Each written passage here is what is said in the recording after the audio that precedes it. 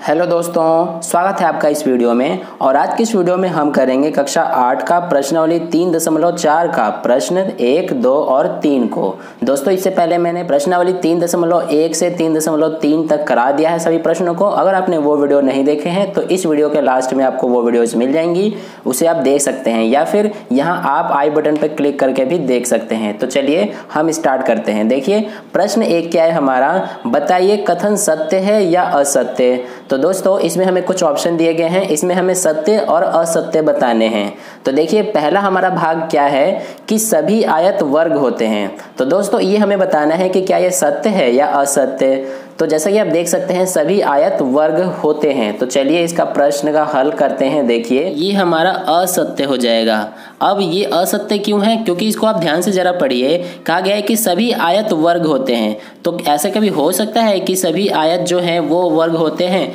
तो देखिए, मैं इसको समझते हैं जरा कि देखिए, ये वर्ग है और ये आयत है। तो आयत की आप क्या देख रहे हैं कि जो चारों भुजाएँ हैं, उनमें लंबाई और चौड़ाई अलग अलग हैं, लेकिन वर्ग में तो चारों भुजाएँ बराबर होती हैं तो इसके कारण जो सभी आयत होते हैं, वो हमारे वर्ग नहीं होते हैं। अब इसका दूसरा भाग देखिए, क्या है कि सभी सम चतुर्भुज समांतर चतुर्भुज भी होते हैं। तो इसका आंसर क्या हो जाएगा दोस्तों? बी का कि ये भी हमारा सत्य हो जाएगा। अब सत्य क्यों होगा ये? यहाँ पर देखिए क्या दिया गया है हमें कि सभी सम चतुर्भुज समांतर चतुर्भुज भी होते हैं। तो इसको हम समझ लेते हैं एक बार जरा कि देखिए, ये है हमारा सम चतुर्भुज और ये है हमारा समांतर चतुर्भुज। तो कहा गया है कि सभी सम चतुर्भुज समांतर चतुर्भुज भी होते हैं। तो दोस्तों सम चतुर्भुज का मतलब क्या है? कि जिसकी सभी भुजाएँ, यानी चारों भुजाएँ ही बराबर हों। ये आपस में चारों बराबर हों बिल्कुल वर्ग की तरह। और इसमें समांतर चतुर्भुज में क्या होता है कि इसकी आमने सामने की भुजाएँ बराबर होती हैं। तो अगर सम चतुर्भुज की सभी भुजाएँ बराबर होंगी तो आमने सामने भी बराबर होंगी। तो इसलिए सम चतुर्भुज एक तरह से समांतर चतुर्भुज भी होते हैं, क्योंकि सम चतुर्भुज की सम्मुख भुजाएँ बराबर होंगी और समांतर चतुर्भुज की सम्मुख भुजाएँ बराबर होंगी। तो इसलिए इसके कारण हमारा कथन जो बी है, वो भी सत्य हो जाता है। अब सी का आंसर देखिए। सभी वर्ग, सम, चतुर्भुज और आयत भी होते हैं। तो दोस्तों, ये भी जो है, ये हमारा सत्य हो जाएगा। क्यों? इसको एक बार हम समझ लेते हैं। देखिए कि कहा गया है, सभी वर्ग, सम, चतुर्भुज और आयत भी होते हैं। तो दोस्तों, मान लीजिए ये हमारा वर्ग है। अब कहा गया है कि सभी वर्ग क्या क्या होते हैं? चतुर्भुज, यानी सम, चतुर्भुज भी और आयत भी। तो देखिए, वर्ग की हमें पता है चारों भुजाएँ बराबर होती हैं और सामने वाली भुजाएँ भी बराबर होती हैं, यानी सम्मुख भुजाएँ भी बराबर होती हैं। और सम चतुर्भुज में भी सेम यही है कि सम्मुख भुजाएँ बराबर होती हैं। इसी तरह से जो आयत है, आयत की भी सम्मुख भुजाएँ बराबर होती हैं। इसलिए जो हमारा सभी वर्ग हैं, वो एक तरह से सम चतुर्भुज और आयत भी होते हैं। तो इस तरह से हमारा ये सी सही हो जाता है। अब देखिए डी का। तो दोस्तों डी हमें क्या दिया गया है कि सभी वर्ग समांतर चतुर्भुज नहीं होते हैं। तो दोस्तों, ये जो इसका आंसर हो जाएगा, ये असत्य हो जाएगा। क्यों? क्योंकि जो सभी वर्ग होते हैं, वो एक तरह से समांतर चतुर्भुज होते हैं, लेकिन इसमें कहा गया नहीं होते हैं, इसलिए ये असत्य हो जाता है। देखिए, इसको हम समझते हैं। कहा गया सभी वर्ग समांतर चतुर्भुज नहीं होते हैं। तो देखिए, मान लीजिए ये वर्ग है। अब कहा गया है ये समांतर चतुर्भुज नहीं होते हैं, लेकिन ये तो गलत बात है। सभी जो वर्ग हैं, वो समांतर चतुर्भुज होते हैं, क्योंकि वर्ग की सभी भुजाएँ बराबर होती हैं और सम्मुख भुजाएँ भी बराबर होती हैं। इसी तरह से समांतर चतुर्भुज में भी जो सम्मुख भुजाएँ होती हैं, वो बराबर होती हैं। इसी के कारण जो वर्ग होते हैं, वो समांतर चतुर्भुज होते हैं और यहाँ पर दिया गया नहीं होते हैं, इसलिए ये असत्य अब देखिए, ई का आंसर, ई क्या है हमारा? कि सभी पतंगे समचतुर्भुज होती हैं। तो दोस्तों, जो सभी पतंगे हैं, वो समचतुर्भुज होती हैं या नहीं? तो देखिए, इसका आंसर हो जाएगा कि ये असत्य है। क्यों है? क्योंकि कहा गया है हमें कि सभी पतंगे सम चतुर्भुज होती हैं। अब दोस्तों, सम चतुर्भुज का क्या मतलब है? ये इस तरह की, यानी कि सम चतुर्भुज की सभी भुजाएँ बराबर होती हैं, लेकिन एक पतंग इस आकृति का होता है तो पतंग की जो सभी भुजाएँ होती हैं, वो आपस में बराबर नहीं होती हैं। लेकिन सम चतुर्भुज की सभी भुजाएँ बराबर होती हैं तो इसके कारण ये हमारा ऑप्शन असत्य हो जाता है। अब देखिए इसका यहाँ पर F वाला पार्ट तो F हमें क्या दिया गया है कि सभी सम चतुर्भुज पतंग होती हैं।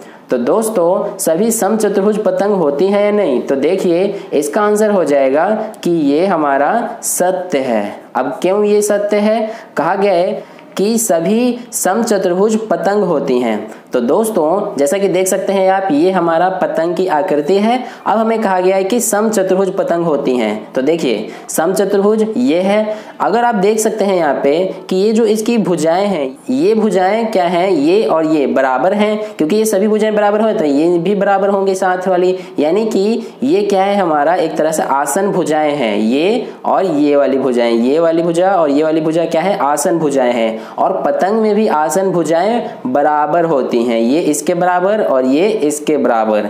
तो इसलिए ये हमारा क्या है ऑप्शन एक तरह से ये सत्य हो जाता है।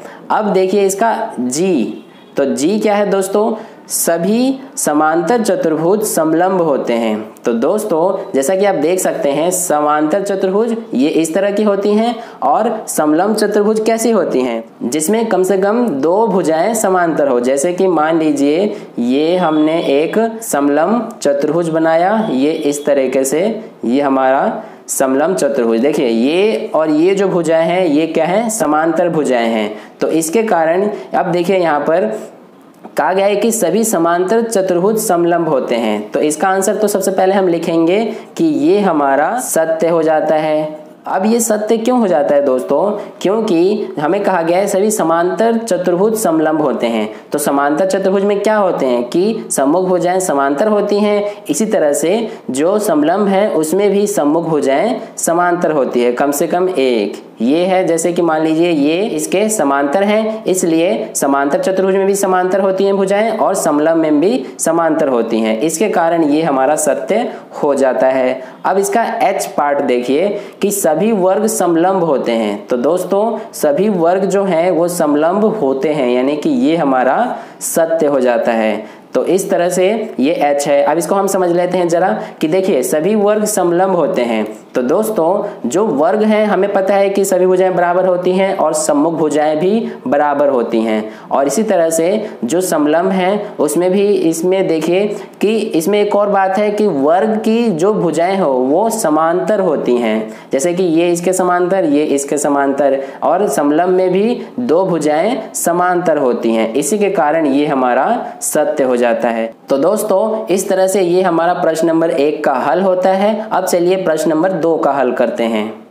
तो दोस्तों, प्रश्न संख्या दो देख सकते हैं आप कि उन सभी चतुर्भुजों की पहचान कीजिए, जिनमें पहला भाग है चारों भुजाएँ बराबर लंबाई की हो और दूसरा है चार समकोण हो। तो दोस्तों, इसका पहला हम अगर हल करें भाग, क्या है कि जिसकी चारों भुजाएँ बराबर लंबाई की हो, वो कौन सा चतुर्भुज होता है? तो दोस्तों, वो एक तो हमारा वर्ग हो जाता है, क्योंकि वर्ग की जो सभी भुजाएँ होती हैं, वो बराबर होती हैं, और इसी तरह से एक हमारा सम चतुर्भुज होता है। तो दोस्तों, सम सम चतुर्भुज की जो सभी भुजाएँ होती हैं, वो बराबर होती हैं। तो इस तरह से ये हमारा दूसरे का पहला भाग हल हुआ। अब देखिए दूसरा, जिसकी चार समकोण हो। तो दोस्तों, जैसा कि आपको पता होगा कि जो हमारा वर्ग होता है, वर्ग की जो चारों कोण होते हैं वो समकोण होते हैं, यानी 90 डिग्री का कोण बनता है। जैसे कि देखिए, ये हमारा समकोण है, इसकी ये जो चारों कोण होंगे, ये समकोण, यानी कि 90 डिग्री के होते हैं। इसी तरह से जो दूसरा है, वो आयत चतुर्भुज जो है, उसकी भी चारों कोण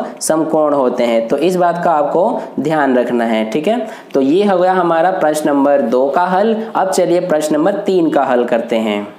तो दोस्तों, प्रश्न संख्या तीन में हमें क्या दिया गया है? बताइए कैसे एक वर्ग, एक चतुर्भुज, एक समांतर चतुर्भुज, एक सम चतुर्भुज और एक आयत है? तो इसमें हमें चार भाग दिए गए हैं। सबसे पहले हमें बताना है कि एक वर्ग किस तरह से एक चतुर्भुज होता है। तो यहाँ पर पहले का हम आंसर लिखेंगे, इसका कारण लिखेंगे।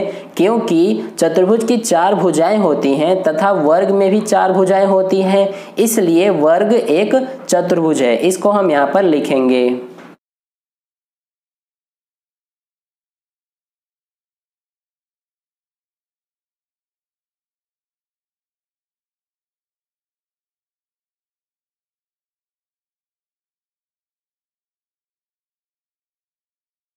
तो दोस्तों, इस तरह से हमारा इसका पहला भाग हल हुआ। अब देखिए इसका दूसरा भाग। तो दूसरे भाग में हमें कहा गया है कि एक वर्ग किस तरह से एक समांतर चतुर्भुज होता है। तो यहाँ पर इसका हम आंसर लिखेंगे कि क्योंकि वर्ग की सम्मुख भुजाएँ बराबर तथा समांतर होती हैं, इसलिए वर्ग एक समांतर चतुर्भुज होता है। इसको आपको समझ में नहीं आया तो एक बार इसको समझ लीजिए कि जो वर्ग होते हैं, देखिए, वर्ग की चारों भुजाएँ क्या होती है? बराबर। और इस तरह से बराबर होने के साथ ही ये समांतर भी होती हैं। तो इसलिए जो वर्ग है वो एक तरह से समांतर चतुर्भुज भी है। तो यहाँ पर हम लिखेंगे, क्योंकि वर्ग की सम्मुख भुजाएँ बराबर तथा समांतर होती हैं, इसलिए वर्ग एक समांतर चतुर्भुज है।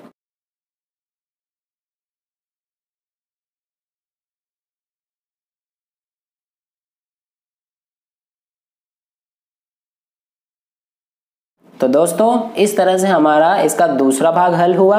अब देखिए इसका तीसरा भाग। तो तीसरे भाग में हमें कहा गया है कि किस तरह से एक वर्ग, एक सम चतुर्भुज भी होता है। तो इसका आंसर हम लिखेंगे दोस्तों, क्योंकि वर्ग की चार भुजाएँ बराबर होती हैं, इसलिए एक सम चतुर्भुज होता है।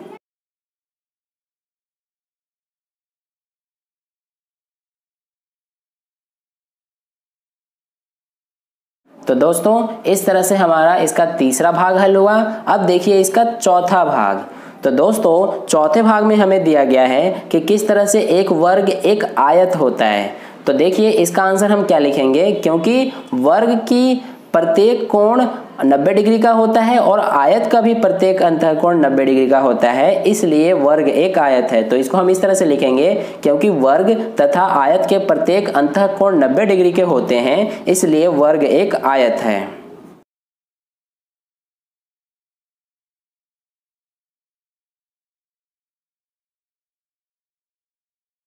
तो दोस्तों, इस तरह से हमारा प्रश्न नंबर तीन का हल हुआ। आई होप आपको तीनों प्रश्नों के हल अच्छे से समझ में आए हो। अगर समझ में आया हो तो वीडियो को लाइक कर देना और अपने दोस्तों के साथ इस वीडियो को ज़्यादा ज़्यादा शेयर करना ताकि उन्हें भी इस वीडियो से हेल्प मिले और चैनल पर नए हैं तो सब्सक्राइब करके नोटिफिकेशन बेल आइकन प्रेस कर लेना ताकि अगली वीडियो जैसे ही मैं अपलोड करूँ, वो सबसे पहले आप तक पहुँच जाए। तो मिलते हैं अगले वीडियो में नए प्रश्नों के साथ। धन्यवाद।